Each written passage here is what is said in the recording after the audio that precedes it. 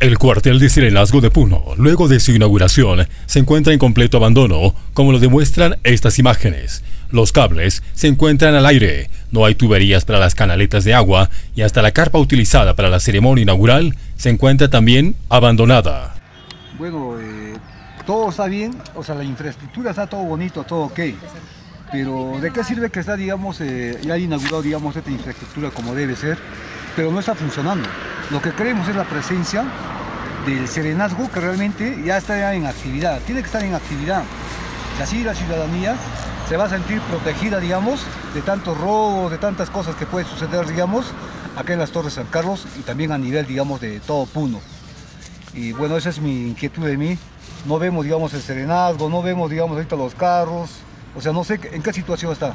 Esperamos, pues, con este gobierno que cumpla, pues, como debe ser, digamos, su culminación de, digamos, de periodo, como debe ser, que deje funcionando acá el serenazgo, acá, lo que es seguridad ciudadana. claro, pero a pesar de que se ha inaugurado con bombos y platillos, supuestamente ya debería estar funcionando. Uno, dos, podemos apreciar de que lo han inaugurado sin haber culminado la obra. Eh, sí, eso, eso ya, ya tendrá, digamos, que tomar cartas en asuntos, digamos, lo que es aquí en, aquí, digamos, eh, autoridad lo competa, digamos, para poder fiscalizar y ver también, digamos, todos esos inconvenientes, eh, digamos, que está sufriendo ahorita, digamos, lo que es la ciudadanía acá de Puno. Y, a lo menos nosotros, digamos, viendo todas esas cosas que están a medio terminar, yo creo que siempre el gobierno ha hecho las obras a medio acabar. Y así no debe ser.